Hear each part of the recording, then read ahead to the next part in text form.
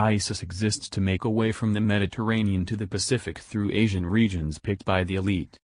9-11 was the occasion that checked Iraq, Iran, Afghanistan, Pakistan and their encompassing nations like Syria and post-Soviet conditions of southern Russia, for death and abuse, which means to eventually cut a course through Asia to the Orient utilizing Islamist fanaticism as an apparatus.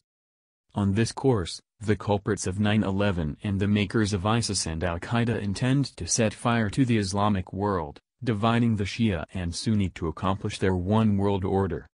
Individuals like bin Laden, wearing flip lemon, riding a donkey and conveying a Kalashnikov, are said by the prostitute media to be in charge of invading America's multi-trillion dollar resistance framework. Gatherings like ISIS are showing up from one place to some place most of the way over the world as though by enchantment, decimating what is consecrated in every single heavenly book.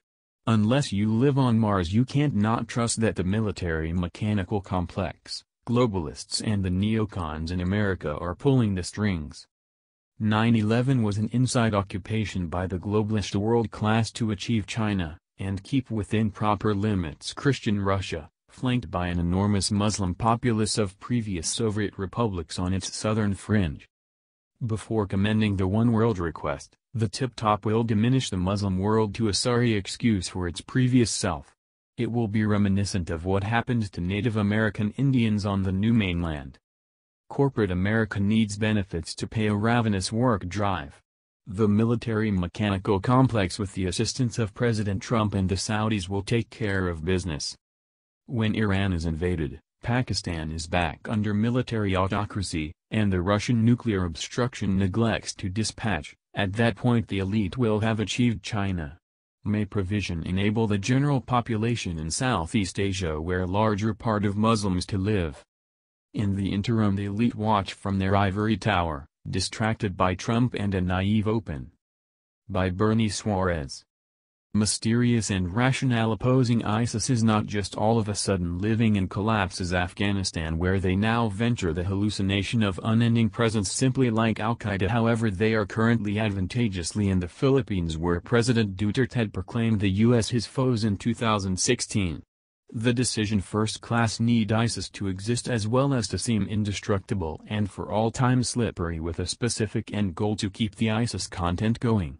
This is the reason the West and its partners have been supporting ISIS since the very beginning with provisions and weapons without which they would not exist today. This ought to be sufficient to outrage each and every American. Why is the majority of this event? Since it ensures that the U.S. can keep justifying wars, government ousts, intrusions and more assaults all through the Middle East as well as wherever they choose to retroactively give ISIS credit for blasts that occur any place on the planet.